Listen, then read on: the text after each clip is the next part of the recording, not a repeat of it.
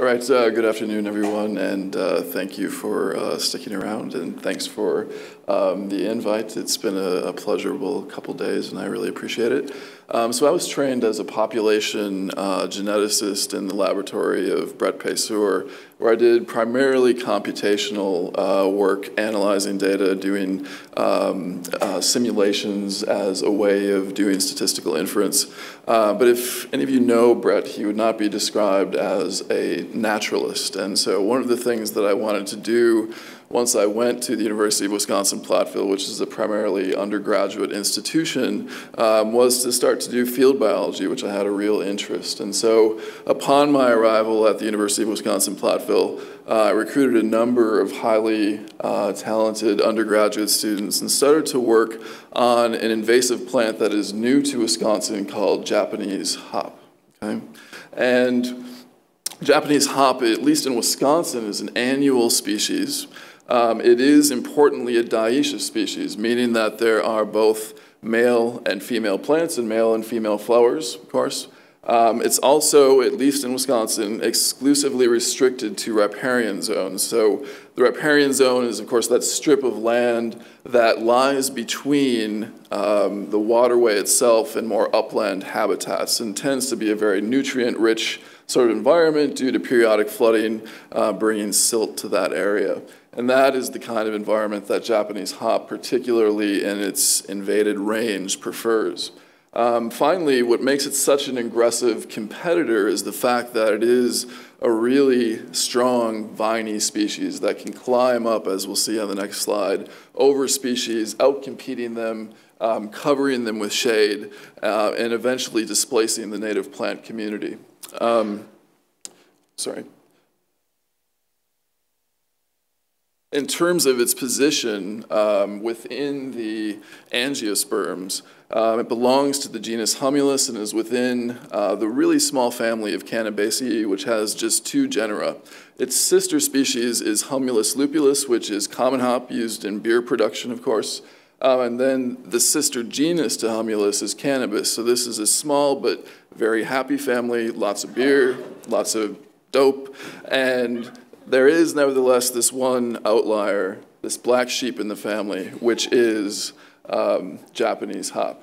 Okay, so in this image here, on the left-hand side, what we see is a very important native plant um, in the upper Midwest, which is um, uh, bee balm, which is attractive to a lot of native pollinators, including hummingbirds um, and a variety of Hymenoptera. And in that picture, you can see this viney climbing of that native plant by Japanese hop, um, you know, with one of the leaves up here starting to overtake that plant. And it doesn't take very long from the initial establishment of, um, you know, a few founder plants, really, as we've seen, about two years, um, to go from that, a founding plant, to what we see on the right-hand side, which is just this dense thicket where the entire native plant community has been displaced by a dense um, number of individuals of Japanese hop.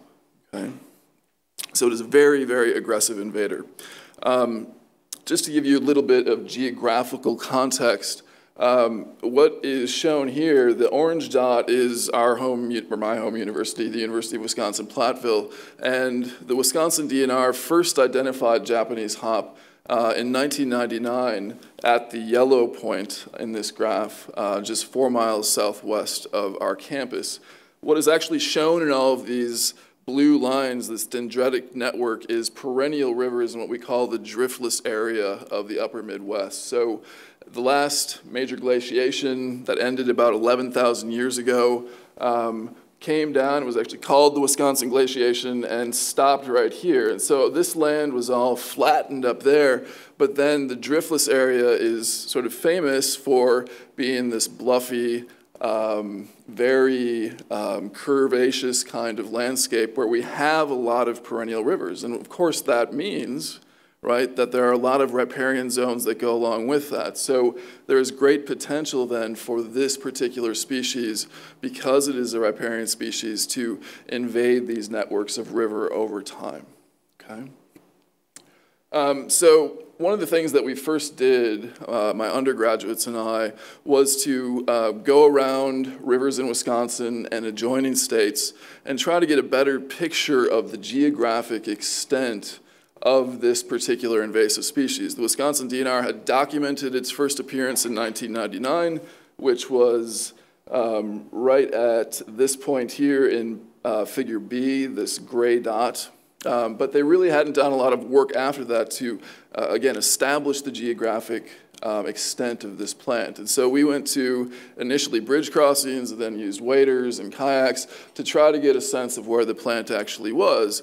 And so since 1999, this was done in the summer of 2004, we were able, sorry, 2014, we were able to, um, shown in orange, document areas where there were infestations of this plant. And at least in southwestern Wisconsin, um, these positions um, were on the Grant River, um, the Little Platte River, which is where the initial source population was, and then two discrete clusters along the Pecatonica River.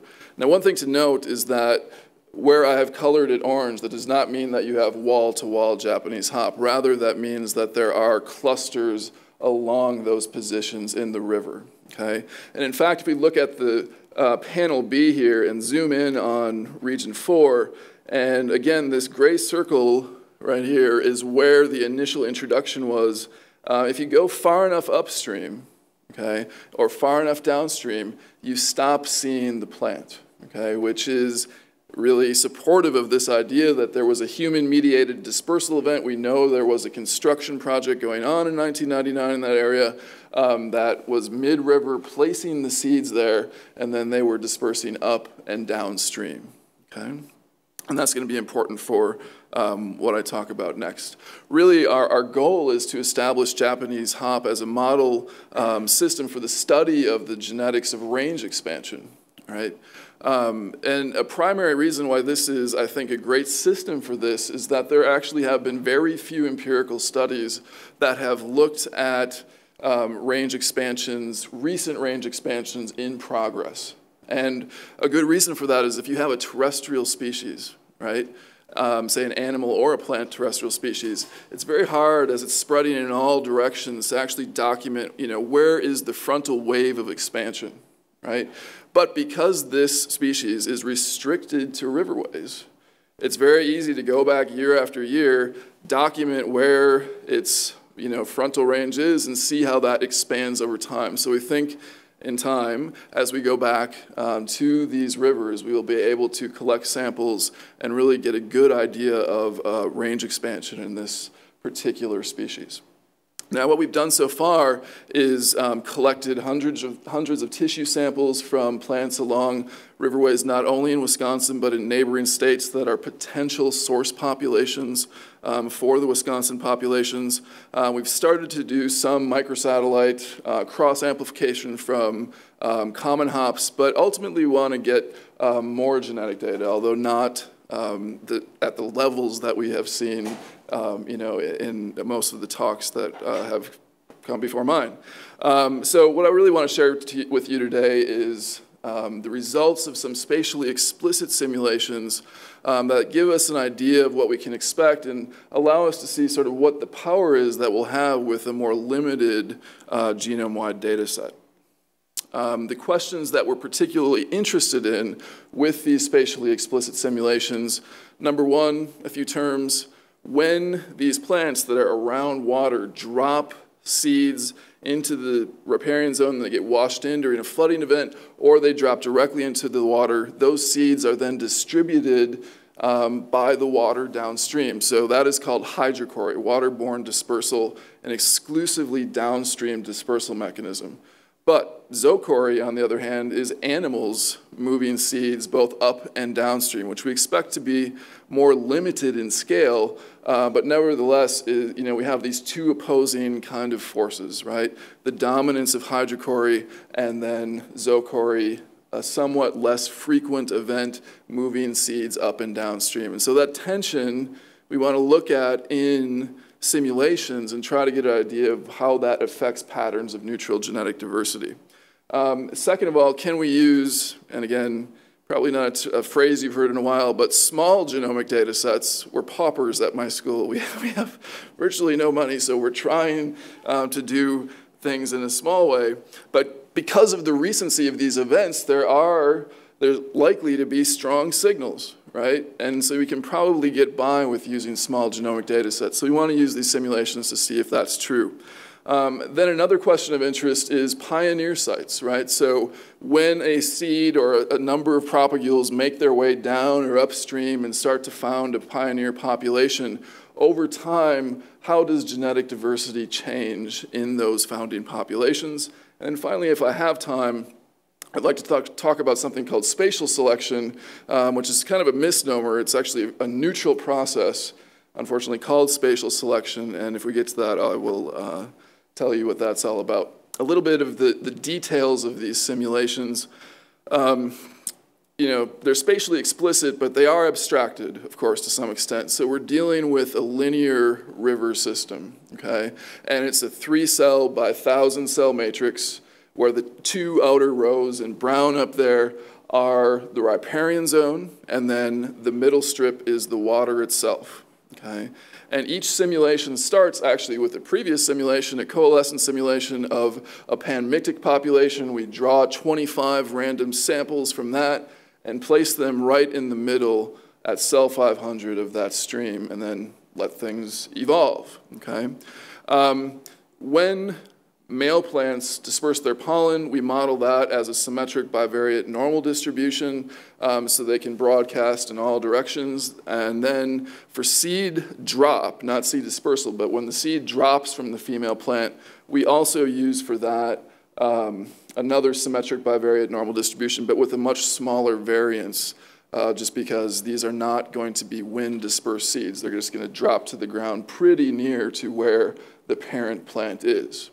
Now, if the seed actually does drop into the water, then the simulation invokes hydrochory, and we have to simulate how far downstream does that seed travel before it gets, you know, exits onto the riparian zone.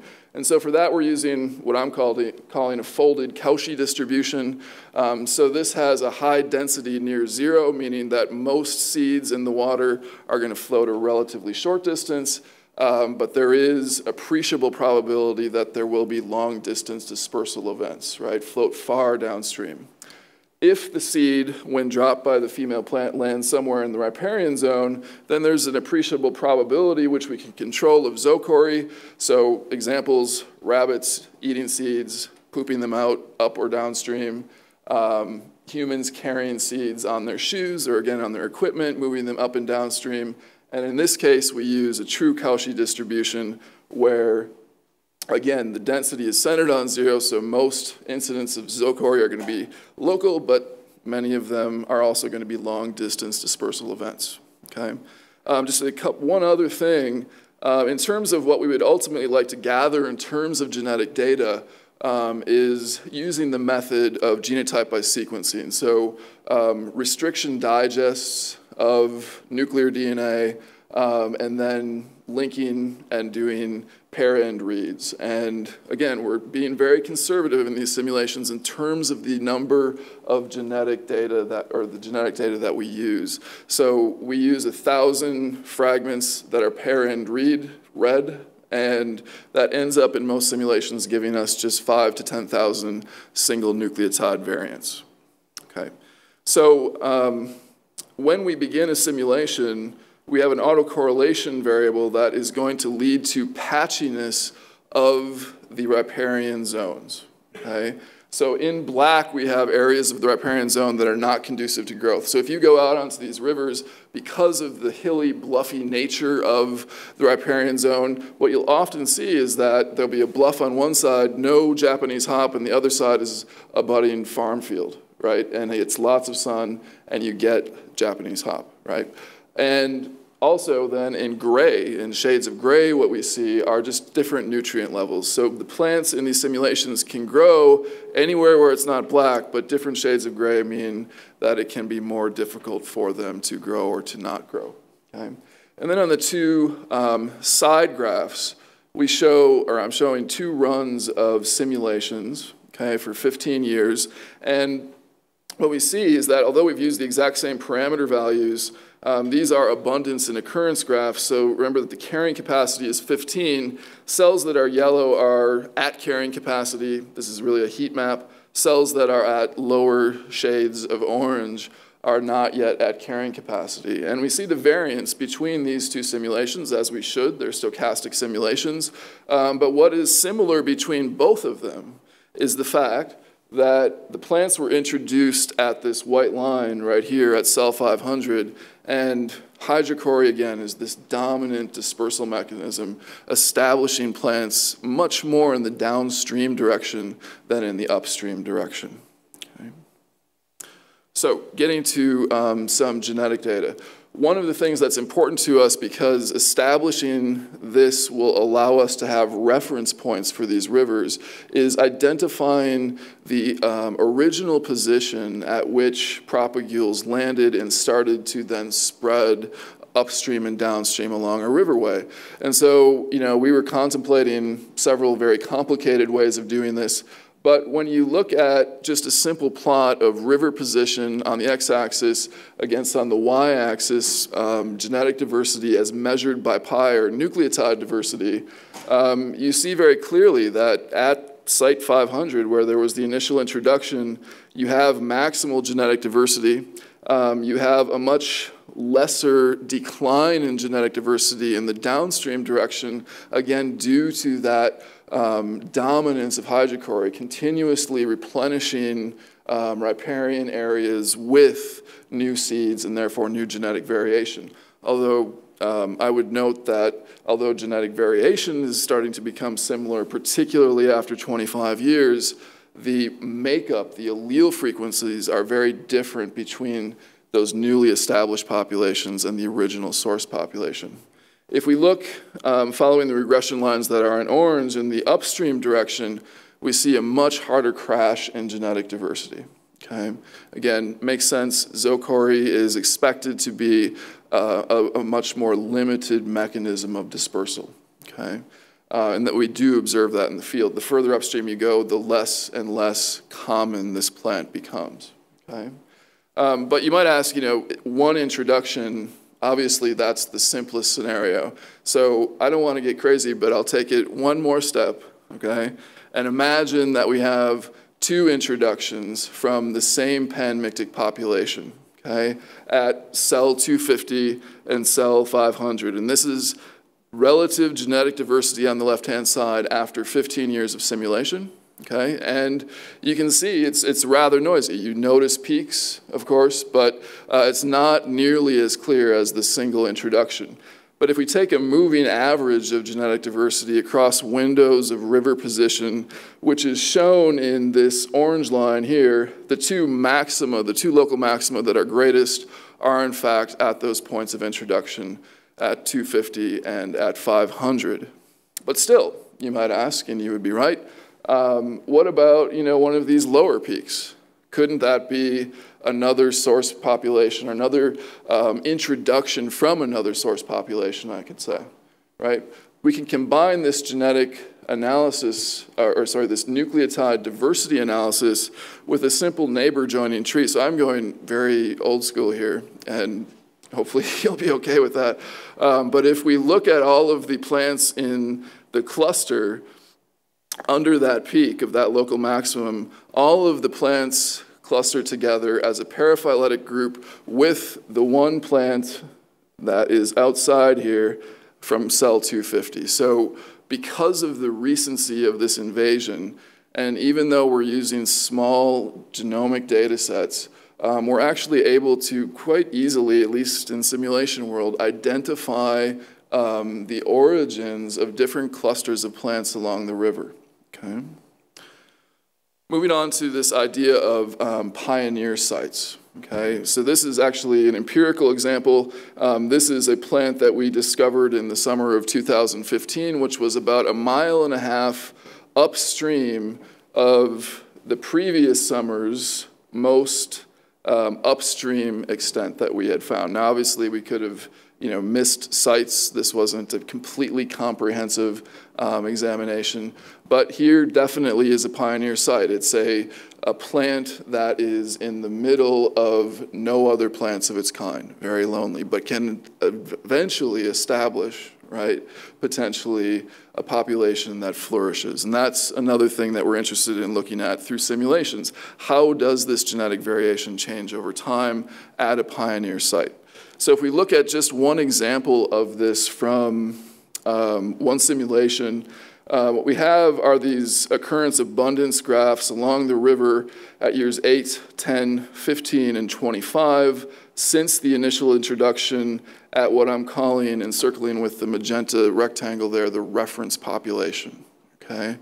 And then at year 18, so this leftmost graph here, we start to see this blinking on of a sink population with just a few plants, okay?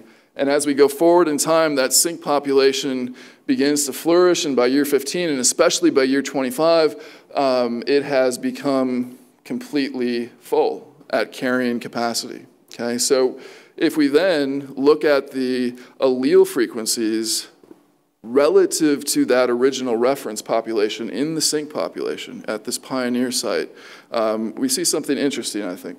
Um, so first of all, what is being shown in these pie charts is taking all of the loci in the reference sample where the minor allele frequency is less than 0.5, 0.05, sorry, um, and then comparing that to the frequency in of those same alleles in the sink population. And when the pioneer site is first established, we see a classic example of a founder effect. The vast majority of these alleles have either been completely lost, these rare alleles in the reference population, or they have been at least reduced in frequency relative to the reference population. And then we have, and this is related to the phenomenon of allelic surfing, we have these um, very small number, about 5% of individual alleles, where there actually has been a dramatic increase right? And that's just the founder effect. If you have a seed that happens to have sampled a rare allele, right, that seed now puts that frequency up to 100%, right? And so you get those rare alleles that become actually very common alleles in the population. Um, but as we move forward, what we see is that over time we start to expand these two categories, these two classes of differences in allele frequencies that were not present initially when the sink population was actually established. Okay, so these are alleles where in the sink population um, they are either somewhere between, in these two gray shades, between 0 and 20% greater in frequency than the reference population. And again, that is because even though this is a site that has been a founder site, it is continuously replenished by um, seeds from upstream. And so new alleles are coming in all the time.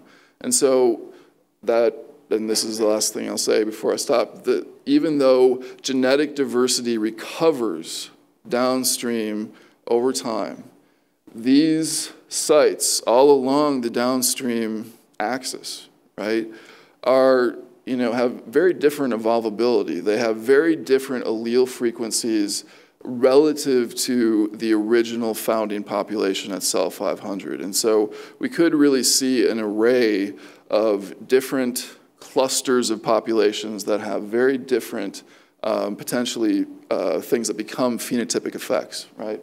Um, I don't have time to talk about um, spatial selection, so, which is a, well, it's a bummer for me, probably not for you, it's pretty late in the day. Um, yeah, cane toad. Right. Um, but I did just want to briefly mention my undergraduate students. Um, I treat them kind of like, well, I treat them sounds weird. I, I consider them to be um, sort of a superorganism. We don't have grad students, right? And so over the years, even though I've only been there three years, people are rotating in and rotating out, and they do the work of one grad student. Uh, and so I'm very appreciative of, of all of them in particular. And again, thank you for the invitation.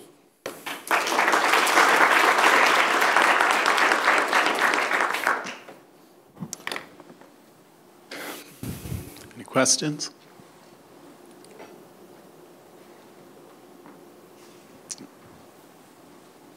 So you, you talked about this one introduction. Are there are, is there only one place in, in, around you where this original introduction happened, or are there multiple introductions? Um, so as far as we know, and the, the record is really spot. Oh my God! I almost rolled this off the I this off the stage. That would have been exciting. Um, um, we know of one putative introduction, and it in that case, it really does look like a, a true introduction because, again, as you go upstream, it gets spottier and spottier. Um, the downstream density is, is more dense. Um, one reason that there may have been more than one introduction is that the Grant River, which is a separate river, has an even more abundant distribution, and it's hard to imagine that that wasn't started earlier. Um, but again, once we get these genetic data, that is definitely something we're going to try to tease apart between these different, different river systems. All right. All right, thank you.